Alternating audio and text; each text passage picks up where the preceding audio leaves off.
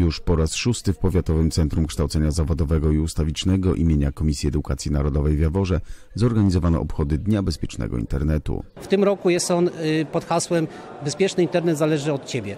W tym roku organizuje go klasa trzecia A i głównie skupiliśmy się na czterech problemach. Pierwszy problem to jest kradzież tożsamości. Drugi problem to jest cyberprzemoc. Trzeci to jest bezpieczeństwo w sieci uzależnienie od gier przede wszystkim. No i czwarty problem to jest bezpieczeństwo haseł. Ważnym elementem obchodów Dnia Bezpiecznego Internetu była prezentacja sierżanta Józefa Kolanka, który poruszył prawne kwestie dotyczące korzystania z internetu. Uczniowie klasy trzeciej A przede wszystkim zwrócili uwagę na to, żeby każdy, żeby każdy miał tą świadomość, że jeżeli spotka go jakaś sytuacja w internecie nieprzyjemna, a to może spotkać no, nas wszystkich tutaj, no to żeby wiedział do kogo się zgłosić albo co robić. Najważniejsze przesłanie tego naszego DBI dzisiejszego to jest, że nie jesteśmy sami.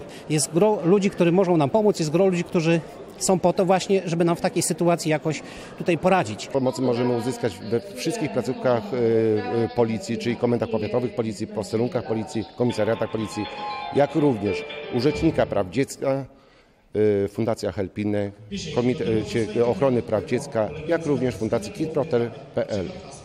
Podczas tegorocznych obchodów DBI zwrócono uwagę na to, że każdy internauta może przyczynić się do tego, by internet był miejscem bezpiecznym i pozytywnym. Każdy z nas ponosi odpowiedzialność za to, co robi w sieci i w jaki sposób z niej korzysta. Na koniec Waldemar Wdowiak poprowadził konkurs dla klas informatycznych na temat znajomości pojęć związanych z siecią. Konkurs ten wygrali uczniowie klasy czwartej A.